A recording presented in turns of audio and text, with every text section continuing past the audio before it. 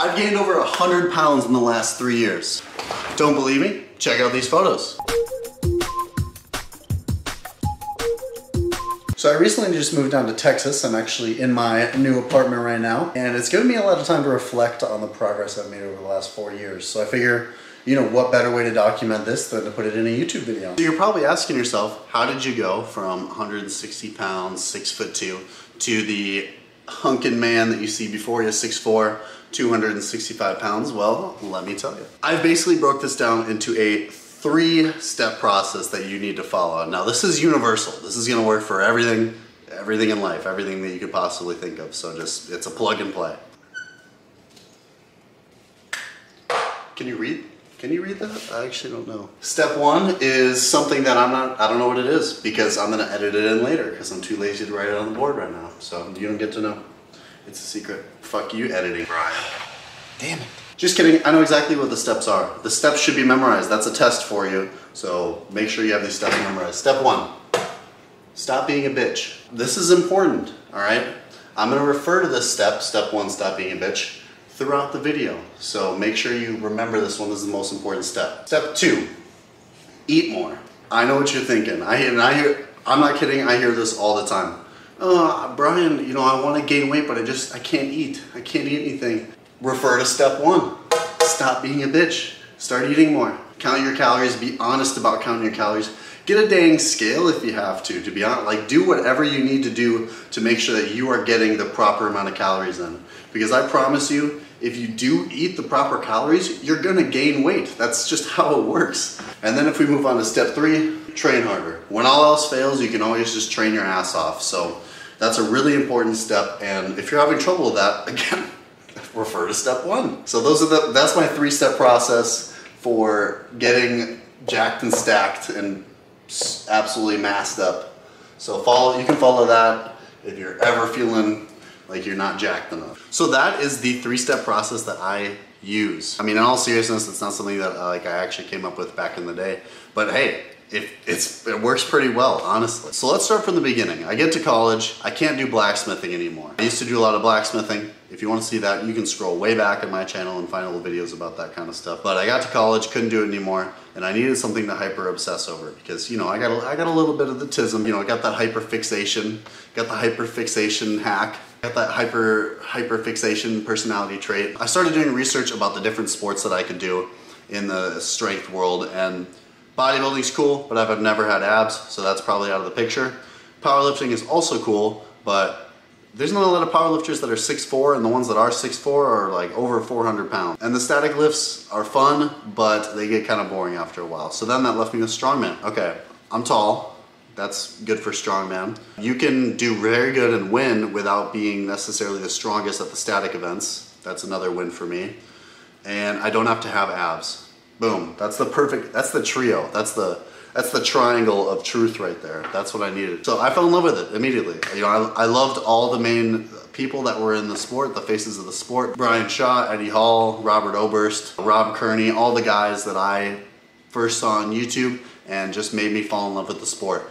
So I started doing strongman and I started eating like I was doing strongman. So that's kind of the introduction on how I got into weightlifting. So now let's talk about the diet a little bit. The diet basically consisted of five meals. Now this, this diet I've basically been on for the last four years. Just because it's, it's consistent, it's easy to make. Uh, I've basically been eating 5,500 calories a day, give or take. I mean, there's been, there's been periods of time where I have not been on this diet, but for the most part, I've been perma bulking the last few years. 260 pounds pure muscle right here. The first meal of this is six eggs and then a source of carbs. Lately my carbs have been bagels. I don't I've just been really into bagels lately so what can I say, I'm you know big bagel guy. And then the rest of the four meals that I would eat throughout the day consisted of beef and rice, chicken and rice, pasta, pizza, some on occasion, only like five days a week so it's not even that much and potatoes. Potatoes and some sort of meat. So those were kind of like what I would go through, what I would filter through. With the, on occasion, you know, I'd spice things up a little bit, but for the most part, that's what I've eaten the last four years. And some people, you, you know, you might be thinking like, doesn't that get boring? I mean, not really, honestly. Like, you know, by the fifth meal, you're just ready for something different, and then you get the first meal again. So it's like, it feels like I have a lot of variety. I mean, five meals is quite a bit of variety, so honestly, it's not too bad. This diet's worked pretty well for me. My stomach agrees with it. And uh, obviously, you know, it's been doing pretty good for me so far. I've gained a decent amount of weight over the last few years, I'd say. Speaking of weight, let's talk about my weight progression a little bit. So I did not gain all this weight linearly. Let me explain what I mean by that. So obviously life happens sometimes. And now I have gained this 100 pounds over the last four years, but it has not gone smoothly. I, will be honest, it looks a lot like this. Look like that. Guess what? Bottom of the mountain, top of the mountain, mountain right there, you can see the growth. This is pure growth right here. And while these points got discouraging, the points where I did lose weight, whether it be external or internal reasons, you know, while that did get disappointing and I would beat myself up over it, as long as I always stayed true to myself and my long-term goals, I ended up just gaining the weight back anyways. So while it wasn't exactly linear, doesn't mean I didn't get to where I wanted to go. So the point I'm trying to make here is just, it's probably not gonna be a linear process. Now, there's probably gonna be some crazy people out there that have been like, yeah, I gained uh, one tenth of a pound a day for X amount of years and I there was never a day that I didn't do that. And that's that's great. That's really good for you. Unfortunately, that's just not the case and how it went for me. But that's fine. Uh, it's okay that you know this weight journey has been kind of fluctuated so much. So yes, my weight fluctuated a little bit throughout this time. At one point, my sophomore year of college, so just two years in, I was up to 260 pounds for this weight gain challenge I did. But I was also relatively not lean. If you can see from this picture here, you know, this is uh, from around that time to now, and you can see how much that I have leaned out over that course of time.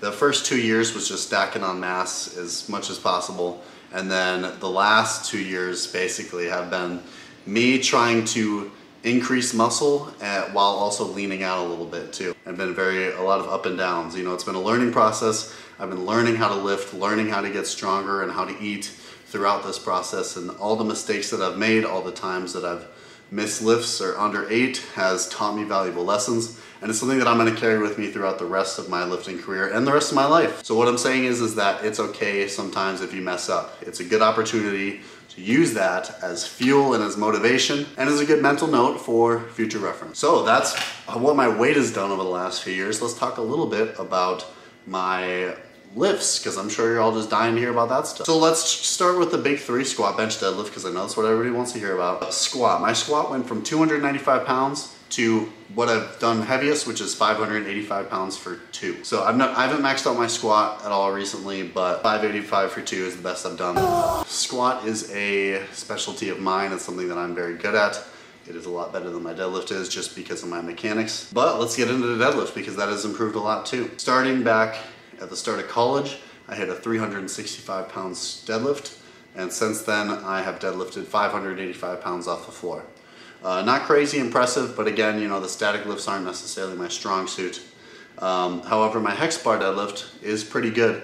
I went from a 315 pound hex bar deadlift all the way up to, an, at my last competition, I pulled an 810 pound hex bar deadlift. So that was really good for me. Uh, big confidence booster, especially in the deadlift category, because that's still an area that I feel that I'm very behind in. So, and then finally here, bench press. I went from a 225 pound bench press to 385 pounds. I think I could bench more. It's just, bench is not something that I put a lot of emphasis on because I do strongman. We don't, like when's the last time you saw a bench press event at a strongman besides the Shaw Classic? So it's just not worth the risk. You know, it's a lot of stress on my joints and ligaments.